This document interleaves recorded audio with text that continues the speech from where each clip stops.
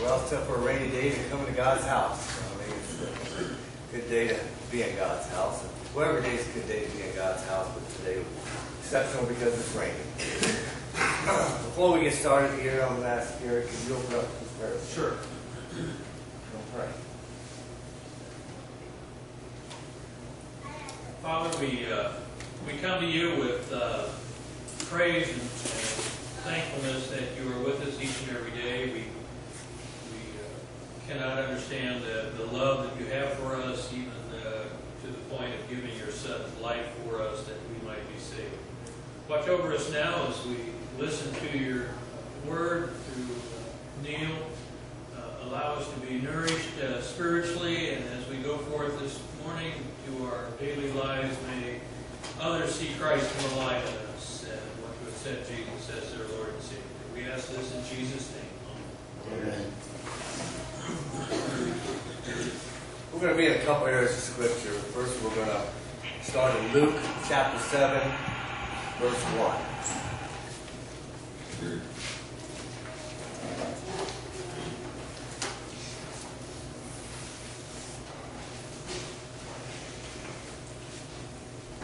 Gets there. We'll start here. Well,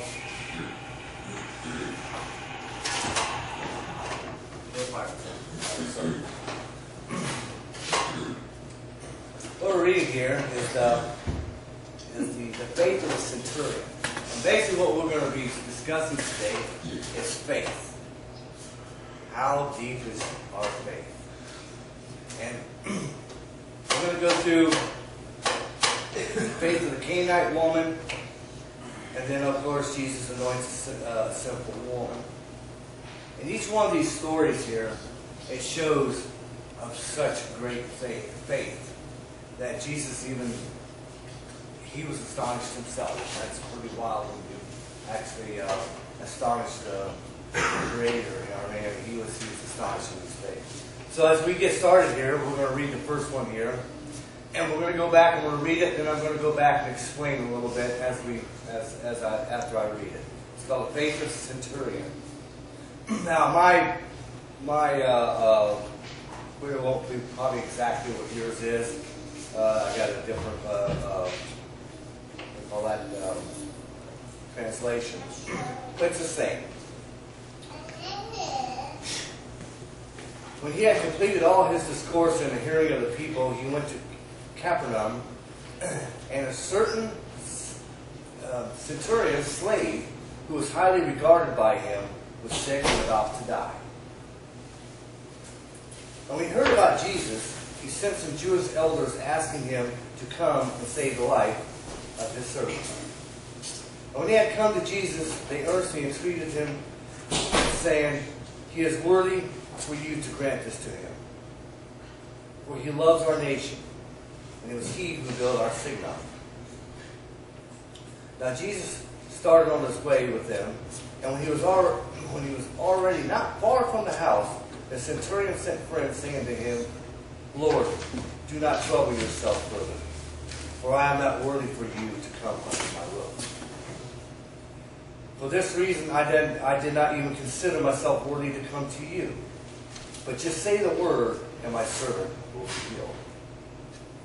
For I too am a man under authority, the soldiers under me. And I say to this one, Go, and he goes. And to another, Come, and he comes. And to my servant, Do this, and he does it. Now when Jesus heard this, he marveled at him, and turned and said to the multitude that was following him, I say to you, not even in Israel I have found such great faith. Not whole Israel he has found such great faith. now, centurion is a Roman soldier. Uh, they, uh, they basically were there to keep peace. And uh, some Jews liked him, some Jews didn't. But this was a certain one. He was special. He sat back, what it says in, in verse 5, he loves our nation. It was he who built us our synagogue. Now, so he, this centurion, this Roman centurion, loved the Jewish people. What amazes me here is that he sat back and he asked some elders to come to Jesus. Says, certain centurion slave, excuse me, when he heard about Jesus. Now, where did he hear about Jesus? It really don't say how he heard about Jesus, but he heard about Jesus. In that time, of course, with the miracles that Jesus was doing, uh, basically, you know what I mean? A lot of people heard of the miracles that he was doing, raising the dead, healing the blind, you know, et cetera, et cetera. So I'm sure he got wind of this, you know what I mean, and and and, and this. So, but as we go here, uh, what amazes me is that the centurion did not feel worthy for Jesus to come under his rule.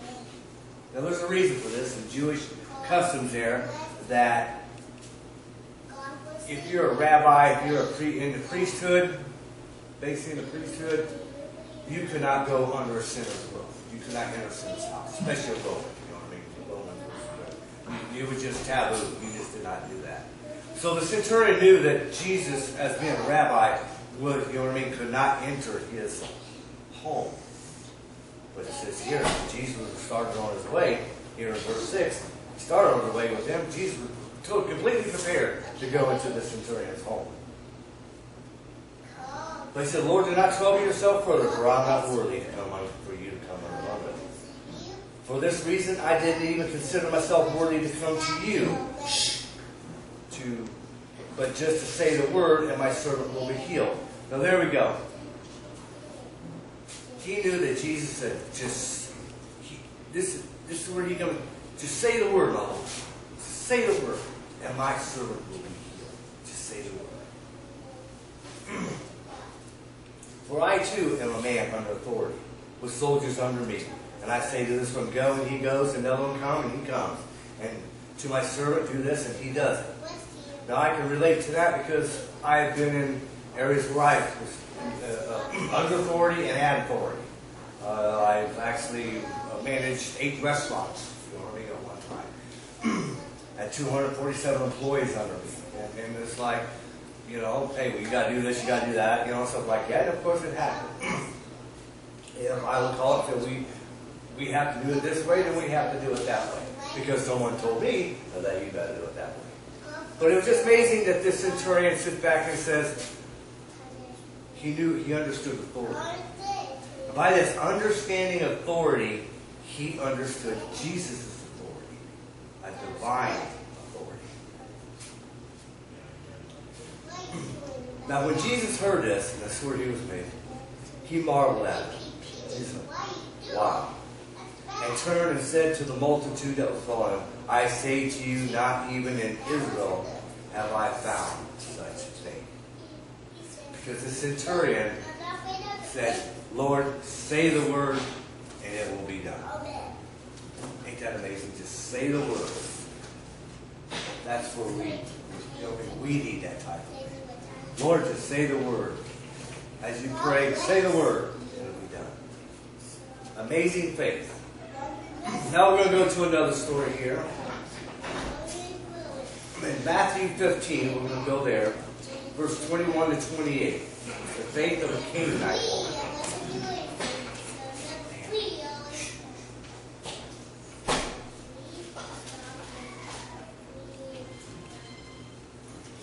When you get there, I'll give you a couple minutes to get there. Matthew 15, what? Uh, verse starting at verse 21.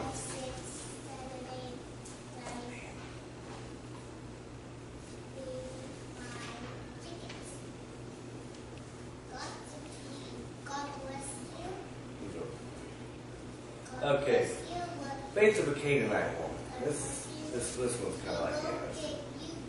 And Jesus away from there and withdrew to the district of Tyre and Sidon. And behold, a Canaanite woman came out from that region and began to cry out, saying, Have mercy on me, O Lord, son of David. My daughter is cruelly demon possessed. But Jesus did not answer her a word.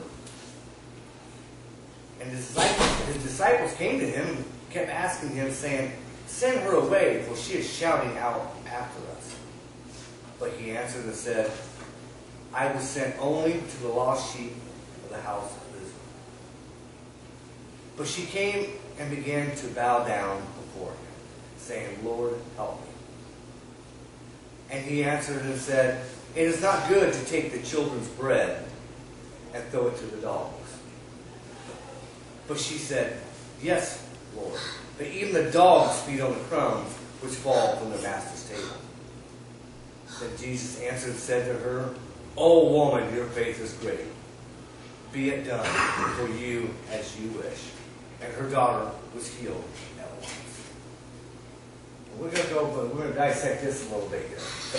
She's a Canaanite, she's a Gentile. Well, what, what really gets here is, I mean, her daughter, asking the Lord to offer daughter, she was demon possessed. A lot of people, you read the Bible, has, has that problem. Not being healed because they have the evil spirit inside of them.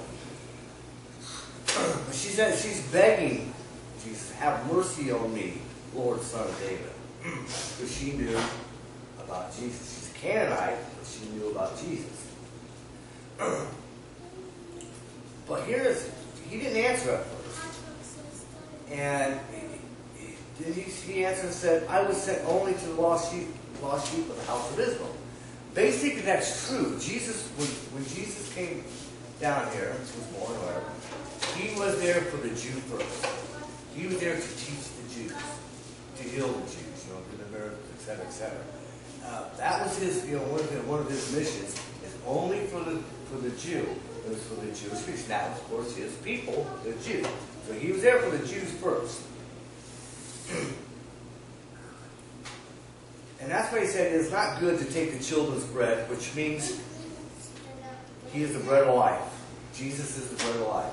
So it's not good to take the bread and throw it to the dogs, which is saying Canaanite people was not, you know what I mean, that, you know what I mean, they, they, they, they were called dogs. What dogs is, um, uh, not good. You know, mean, we, we don't say it today through this language. Uh, dogs was actually, uh, uh, uh, that's just what they, they describe them as, as dogs. They was undesirable, but as it goes on, excuse my throat here a little bit. I'm dealing with a little chest cold. But here, but here, this is what she said. But she said, Yes, Lord. Which right there she knew, yes, I am undesired, I am a Canaanite. I, uh, I'm not worthy. But even the dogs feed on the crumbs which fall from the master's table. But of course, if you got a dog, he's right there underneath the table. He's wanting, he's wanting the crumbs. He's want anything that's going to fall off that table. So what she's saying to Jesus, I know this, but whatever you can give, I will take. I don't care if it's just a crumb. Whatever you can do for me, I will take. Then Jesus answered and said to her, O woman, your faith is great. Be it done for you as you wish. And her daughter was healed at once. the faith of a Canaanite woman was she didn't care. All she wanted was a little bit of what Jesus was offering. She believed that he would. She believed that he could heal her daughter. She believed 100%. And when Jesus says, I'm here for the house of Israel, she knew right then and there, yeah, he wasn't here for her. He was not there. But because of her faith, because she's willing to take whatever he gives,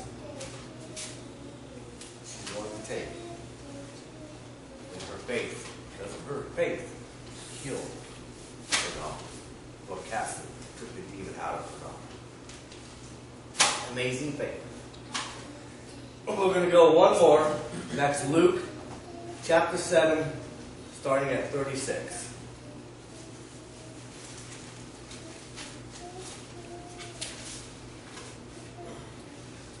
Now Jesus, this, this is one where a woman anoints Luke Jesus. Luke chapter 7, verse 36. Okay. Let's start right there.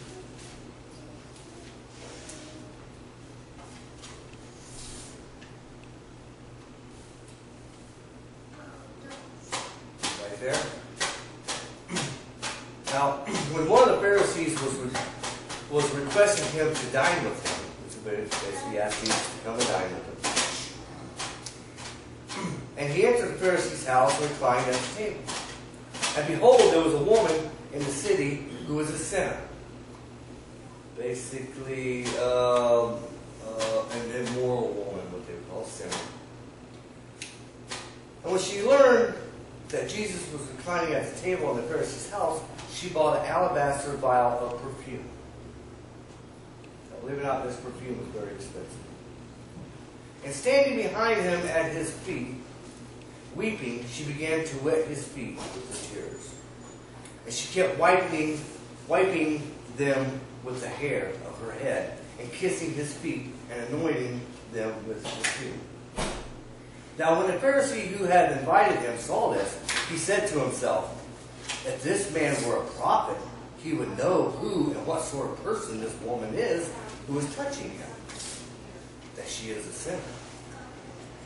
And Jesus answered and said to them, Simon, I have something to say to you. And he replied, Say it, teacher. A certain moneylender had two debtors. One owed 500 denarii and the other 50. When they were unable to repay, he graciously forgave them both. Which of them, therefore, will love him more? Simon answered and said, I suppose the one whom he forgave more for 500 denarii. And he said to him, You have judged correctly, Jesus said. And turning toward the woman, he said to Simon, Do you see this woman? I entered your house. You gave me no water for my feet, but she has wet my feet with her tears and wiped them with her hair. You gave me no kiss, but she, since the time I came in, has not ceased to kiss my feet. You did not anoint my head with oil, but she has anointed my feet with perfume. For this reason I say to you, her sins, which are many, have been forgiven. For she loved much. But he who is forgiven little loves little. And he said to her, Your sins have been forgiven. And those who were reclining at the table with him began to say to themselves, Who is this man who even forgives sins? And he said to the woman, Your faith has saved you. Go in peace Your faith. This woman, she was a sinner. And we'll go back to Jewish customs here. That if you're a rabbi, a priest, whatever, you cannot be touched. In a lot of their society, a woman's not supposed to touch man. You just, you know, unless it's your husband or something like that. but especially as a sinner, was never ever supposed to touch any one of the priesthoods. Anybody who was a rabbi, a priest, or you know, a Pharisee, or was not supposed to touch him. So, but this woman sitting here with crying, come to Jesus. She knew she was a sinner. She knew that she had multitudes of sins. And there she was, sitting there crying and pouring oil on Jesus' feet. Crying because her sins were so deep that by her doing that, she was just pouring out her sins on the feet of Jesus. A lot of times we say we, take we take our sins and put them at the foot of the cross. You know what I mean? Basically, that's the foot of Jesus. You know, take our sins and just put them right there. And that's what this this this woman did. And she was just and through her tears and just wiping Jesus' feet, poured out her view? she was just pouring out all her sins. And she knew in her heart that Jesus was there to save her. She knew that he was the Savior. That's amazing. Uh, uh, it's such amazing to me that, and here, here he's in Simon's house, which is a Pharisee. He's in her house, his house. They did not. There was a custom the custom in, in Jewish custom is, is when you enter someone's house, you, they had someone there to, to wash your feet because they would wash the dust, you know, off the sandals, whatever. It was just a custom they had that they would wash your feet. But here Jesus saying when he came into Simon's house, no one washed his feet. No one gave him the oil. I mean, you know what I mean? No one gave him nothing. But the sinner came in. Now this Simon guy is supposed to be a righteous man, pretty the priesthood. But a sinner comes in there and gives Jesus everything that he was supposed to give him. But she did it through tears. And asked for forgiveness. Amazing story. now we sit here, we discussed here the faith of the centurion, the faith of the Canaanite woman, and the sinful woman. What does these three people have in common? Does anybody know? Three people, what do they have in common? They're deplorables. That's what we Hillary called us one time. Uh, deplorables. They were despised. We're going to go first with the with the centurion. The centurion, yes, he was loved in his city, but he was a Roman. Okay, a Roman back in those days, Jesus' times, was despised. They were they, they, people was Jews were scared of. Now, if he would have went to any other city besides the city that people that knew him, and he's dressed in his Roman outfit, you know, his armor and all that, and he'd walk in any city that no one knew him, they would be afraid of him. They would despise him. You know what I mean? They, they, they hated Romans because Rome because the Romans occupied him, controlled him, and they did not like that. so even though he did, he loved the people, but still yet he was despised by the people because he had he was over them. We're going to go with the faith of the Canaanite woman.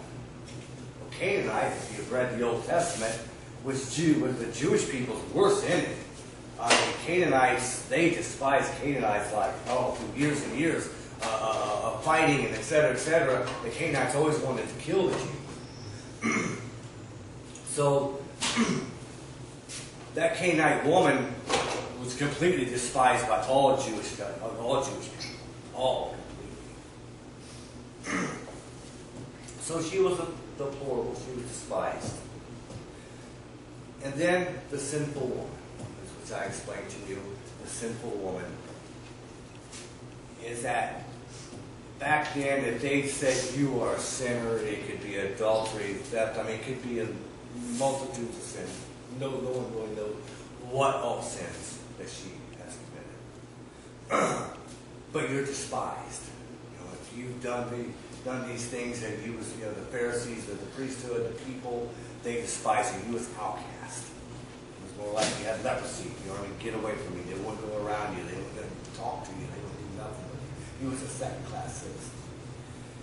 and basically, to the Jewish, all three of these people were second class citizens. Completely. They were despised, hated. Uh, they were just evil to the, to the Jewish community. But not to Jesus, though. Not to Jesus. Jesus had compassion on these people. He loved these people. He healed these people. He forgave these people of their sins.